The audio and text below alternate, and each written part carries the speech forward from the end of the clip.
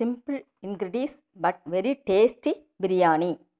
Surya தனது மூன்று வயது செல்ல மகள் அச்சுவுக்காக செய்த special biryani. Fifty minutes biryani.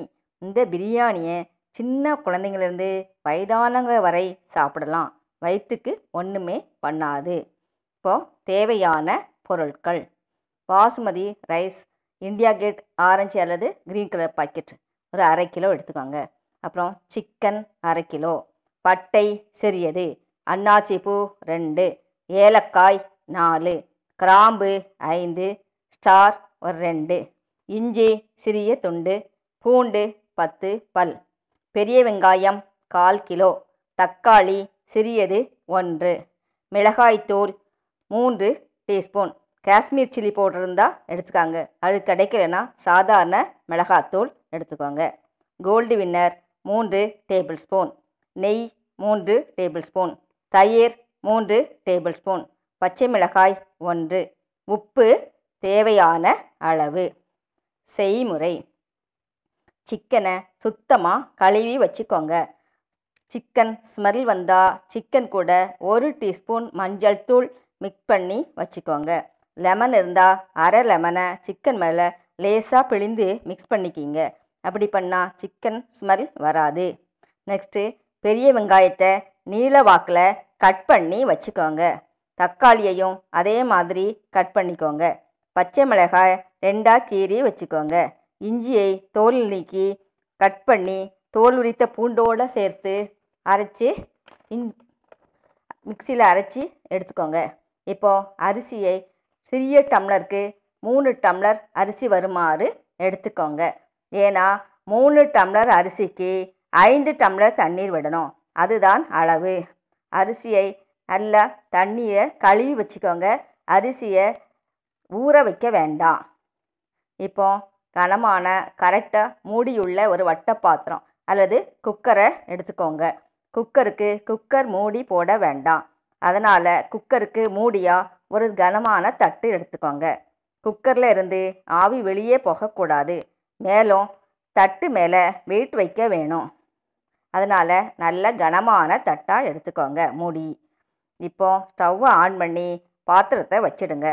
பாத்திரத்தில் மூன்று டேபிள் ஸ்பூன் எண்ணெயை ஊற்றி பட்டை கிராம்பு அன்னாசிப்பு ஸ்டார் ஏலக்காய் போட்டு தாளிச்சிடுங்க.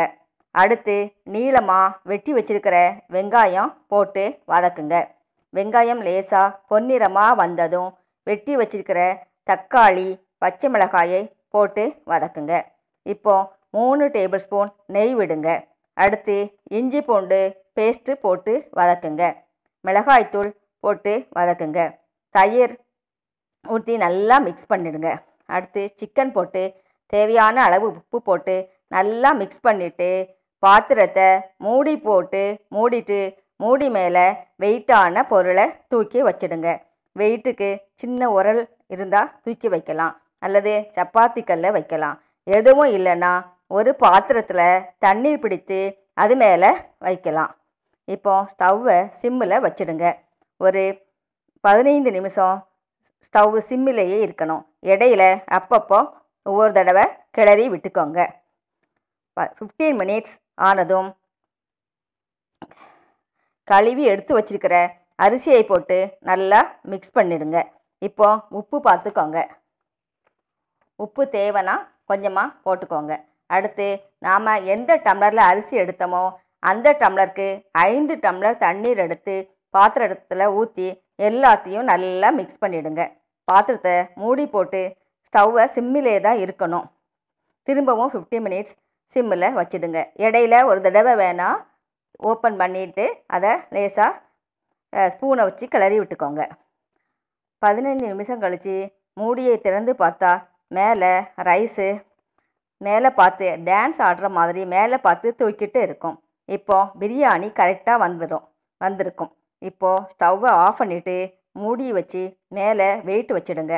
திருப்பியும் ஃபிஃப்டி மினிட்ஸ் கழித்து சூடான டேஸ்டான பிரியாணி சாப்பிடுங்க. இந்த பிரியாணி சிம்மிலேயே வச்சு செய்கிறதால பிரியாணி ரைஸ் எல்லாம் நல்லா